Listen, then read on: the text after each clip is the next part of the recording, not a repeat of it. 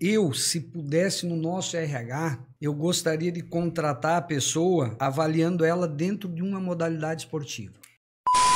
Valorizar. Tem que aproveitar a vida, Rodrigo. A vida, a vida é um presente para gente. Tem que agradecer as habilidades, né? Evitar as distrações.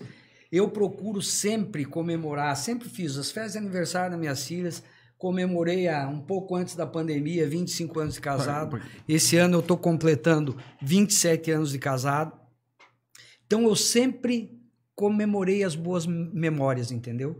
Porque é muito rápido. Você imagina, eu tô com 54. 18 em Anitta.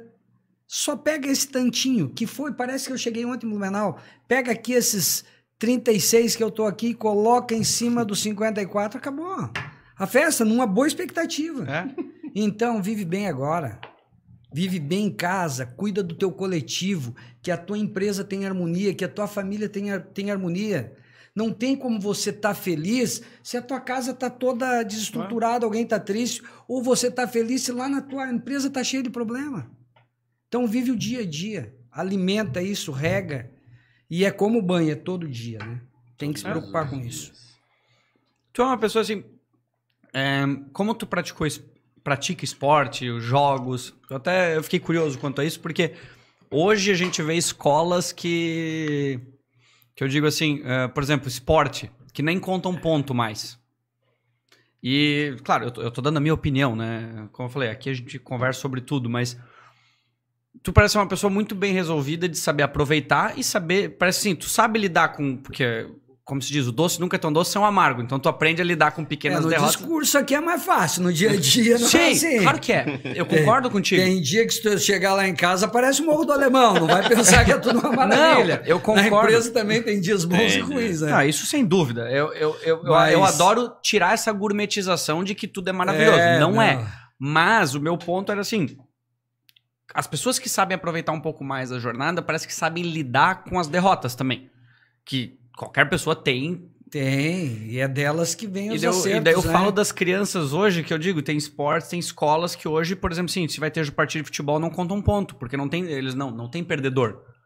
E aí, de novo, toda a minha opinião, eu falo, pô, mas o que na minha infância me fez a diferença foi o esporte, é. foi eu saber lidar com derrotas, que aquilo ali é um pequeno projeto de fazer eu lidar com a vida. Porque a vida tem pontos baixos e ponto pontos altos, saca?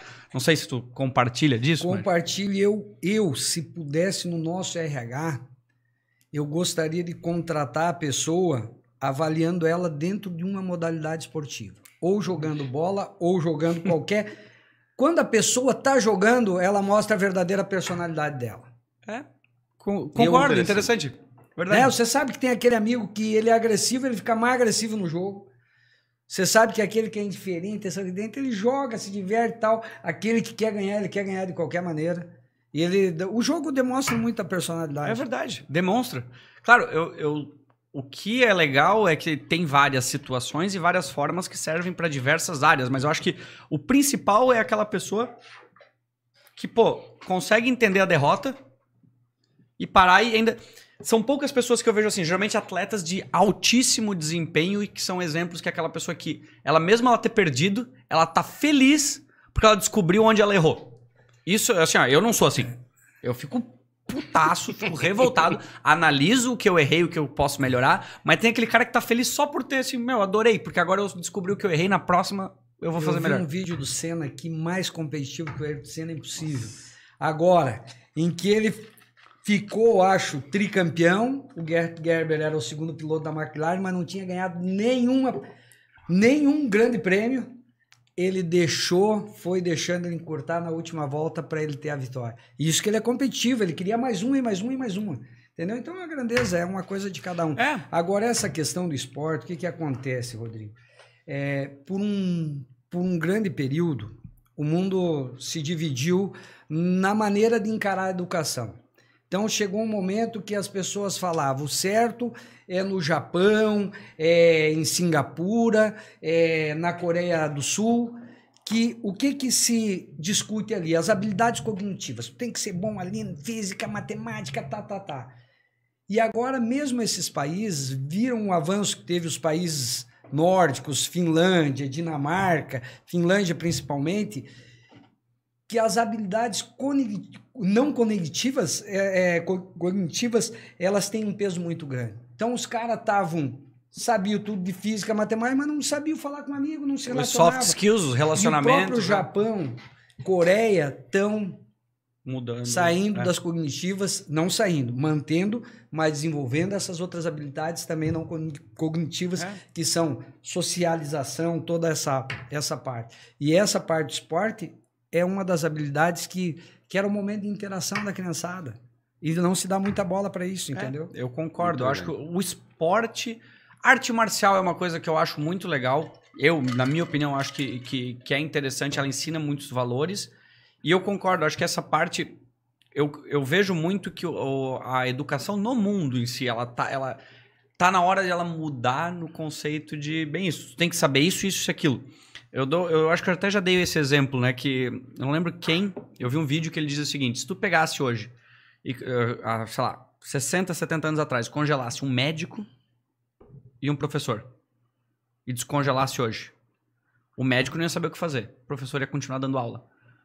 Porque, assim, eu acho que as pessoas, cada uma tem o seu jeito, tem o seu tipo. Então, assim, por que, que eu sou obrigado a ser bom só naquilo? Por que, que eu sou obrigado a ser bom em matemática? Às vezes, pô, aquela criança, ela tem uma, uma facilidade para ser uma coisa. Vamos fortalecer aquilo é que ela isso, gosta de mas ser. Mas isso já se pensava lá atrás, um mundo que caminhou diferente, né? É, concordo. Minhas filhas estudavam no, na escola que se tornou Visão, mas era um antigo Frenet, né? E o método Frenet, ele sempre ele deixou seguir aquela, aquela área que a criança tinha facilidade.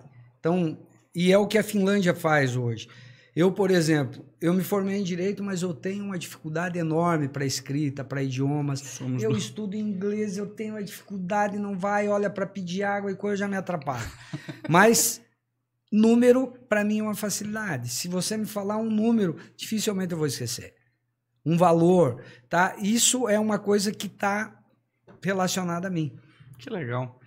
E para cada um, né? Cada um tem sua facilidade, né? É, é que eu via isso assim que, por exemplo, quando tu pega uma criança no momento que, por exemplo, tu tem facilidade para matemática e não tanto para ciência.